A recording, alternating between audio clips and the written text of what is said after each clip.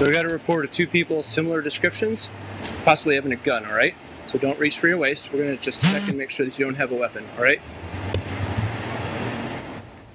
Well, you have just seen the moments leading up to the death of 19 year old De'Von Bailey. The Colorado Springs teenager was shot and killed within seconds after running away from officers. Thank you so much for choosing Denver 7. I'm Ann Trujillo. And I'm Shannon Ogden. I want to begin by saying Denver 7 has made the decision not to show you the video of De'Von Bailey being shot. Let's first get to Megan Lopez, who's in Colorado Springs right now. Megan, De'Von's family is calling for the community to stay calm and let the investigation go forward. Yeah, Ann and Shannon, uh, the family asked for privacy today. They have a viewing for De'Von happening right now, as a matter of fact, just a few minutes away from where I'm standing. Where I'm at, scene where De'Von Bailey was shot and killed, you could see this impromptu memorial grown a lot of candles and a couple of crosses. There's also some spray paint here, uh, kind of marking this area. Again, it's just a few minutes away from where the is being held and also just a few minutes away from where the Colorado Springs Police Department is. So today the family's lawyers spoke about the release of this video saying they have a long investigation ahead and they're still waiting to get a hold of a lot of different evidence. Just hours before all of this uh, all of this viewing for the family, for the friends is happening, that's when the Colorado Springs Police Department released this body camera video. The footage shows Bailey and another man being questioned by police in connection with an alleged robbery. When when police go to search Bailey, he starts running with his hands near his waistband. Police tell him to put his hands up and open fire within seconds of giving that order. The body camera footage shows that there was a gun in his pants, but officers had to cut off his pants in order to get to that gun. Now, during a press conference today, the family's lawyer spoke about that video being released.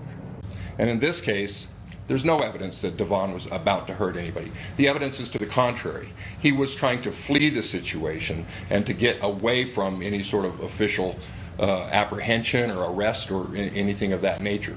There is no legitimate death penalty for simply running from the police. And the, the, what turns out to be bad judgment of a young man in that circumstance cost him his life. So let's talk about what else was discussed in that press conference. The family and the lawyers for the Bailey family said that they do not want the Colorado Springs Police Department or the El Paso County Sheriff's Office investigating this. They say that those two have too close of a relationship for it to be a fair investigation. Instead, what they're calling for is the Colorado Bureau of Investigations to go and to take over this investigation and then to hand their evidence to the Colorado Attorney General's office that say that that way they can make sure that they get a fair shake when it comes to this investigation. Now, earlier this week, we heard from De'Von Bailey's family. Again, they did not want to talk today because they want their privacy as they are doing that viewing. But what they told us earlier this week is that this is not a Black Lives Matter or White Lives Matter or Police Lives Matter. This is all lives matter for them. The bottom line for this family is that they want answers and they want justice and the lawyers that spoke today during that press conference say that they still have a lot of investigating to do themselves. They're still waiting for a lot of the evidence.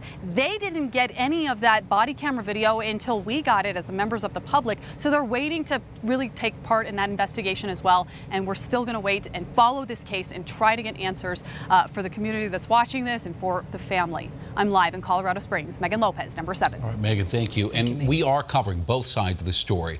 So, generally speaking, Police have the right to use deadly force if they believe their lives or the public is in danger. In fact, here are the statutes in part. First statute 16-3-103 allows police officers to stop a suspect they believe is committing or has committed a crime. In addition, according to statute 18-1-707, an officer is justified in using deadly physical force upon another person when and to the extent that he reasonably believes it necessary. Well, Chief Investigative Reporter Tony Kovaleski spoke with a law enforcement expert. Tony, what is she saying about this? Well, and Shannon, many vantage points and opinions on this and the shooting of De'Von Bailey. We spoke with an expert in officer involved shooting. She reviewed the Colorado Springs Police Department's use of force policy and the video and provides valuable insight. So I don't completely say they're in the wrong because they have reports of them assaulting somebody with a gun. Can't say they're completely in the right because you can't tell if the individual is reaching for a gun. Andrea Borrego says after reviewing the body camera video, by all indications, the officers followed department policy. It is a felony. So if you go through what their policy is, they have um, this authority to use force if there's reasonable suspicion that that person could hurt other individuals. But this expert described the decisions as murky and believes this should open the door for greater review and more public discussion. I could not tell if a kid was reaching for his gun. I couldn't tell if he was, if his pants might have been falling down, he's reaching to pull something up. When they showed the video, it did seem like there was something in his shorts. Um, so, I mean, maybe he was reaching to grab it before it fell. Uh, was he grabbing it to shoot at officers? I can't say definitively.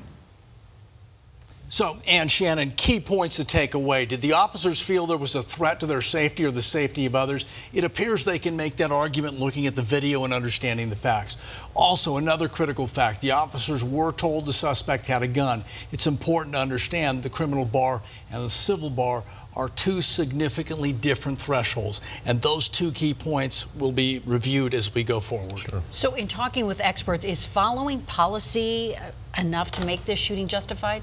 Well, and a very good question there. Here's what we're told. Uh, when the attorneys come back, when the DA comes back, when they look at is it justified or not, if they look at did they follow policy, it's going to be very hard for the DA to come back and say these officers did anything wrong because they followed the rules of the department. So why now? Why was the video released now? Well, I, I spoke with a, a, source, Shannon, a retired member of the Colorado Springs Police Department. He made that exact point. He said it's questionable why the police department released this video today before the DA makes the decision on justified or not justified. Yeah. That's a question we want to ask. It's a question that's being asked by retired officers. Oh, boy. Okay. Thank you, Tony. Thank you, Tony. And our coverage of this still developing story continues throughout tonight on air, online as well. Also, you can find additional interviews and analysis right now on the denverchannel.com as well as the Denver 7 app for your streaming device.